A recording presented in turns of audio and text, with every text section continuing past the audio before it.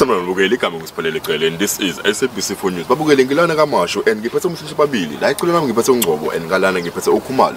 Basochaza kabanzi ukuthi bamthole kanjani uSicapcabo aka uPeter Aphakade. Eh bab- Eh mina oqalayo ngeke Aqala ngalo phela. Dempishane. Eh, u- u- uPeter lo phakade simbambe le elokishini kwamakhutha ngasemanzi imtoti. Bekade ebhizi ke enza lezi zinto zakhe zokukhipha ulwembu ebhizi edansela izingane lapha eshaya amavosho. Sa- wa- Wathi uthi hayi hayi ke kwakuthi phela umuntu umdala emsebenzini. Kodwa ke hayi usenganabo ukhumalo usenganawo nabakhumalo. cha Ehhe. msasazi simbambile impela uSpiderman. Eh ubhekene namacala serious kakhulu.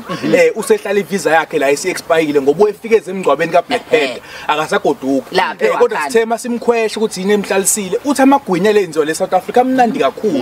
Eh ikona esekhuluphele ngaka nje udla amagwinya ubastard la. Eh, uthi lamagwinya bawapheki le mavele uwathola le South Africa kuphela. Manje into aseyihlalele emsisazi wami uhlalela amagwinya la. Eh kodwa ke asihlangene naloko thina singalo umthetho siyambopha nje. Eh sikhathelo uyena. Usivimba nje simise stocksini vele. Eh, Eh, ngoba futhi ukuthi angihambe nje mina kwamanje. Eh. Oh, eh babukele eh back to you in studio.